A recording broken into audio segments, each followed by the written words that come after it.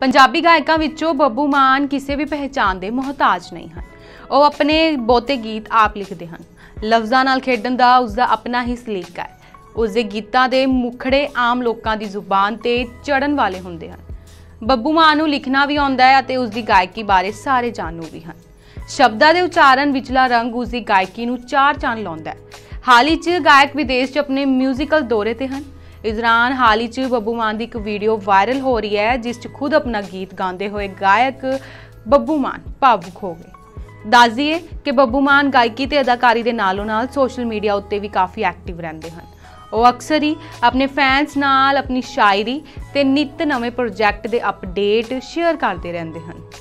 ਇਹਨੇ ਹੀ ਬੱਬੂ ਮਾਨ ਆਪਣੇ musical show ਲਈ ਆਸਟ੍ਰੇਲੀਆ ਗਏ ਹੋਏ ਹਨ। ਇਸ ਦੌਰਾਨ ਗਾਇਕ ਦੀ ਇੱਕ ਵੀਡੀਓ ਉਹਨਾਂ ਦੇ ਇੰਸਟਾਗ੍ਰam ਉੱਤੇ ਸਾਂਝੀ ਕੀਤੀ ਗਈ ਹੈ, ਜਿਸ ਨੂੰ ਫੈਨਸ ਵੱਲੋਂ ਕਾਫੀ ਪਿਆਰ ਮਿਲ ਰਿਹਾ ਹੈ।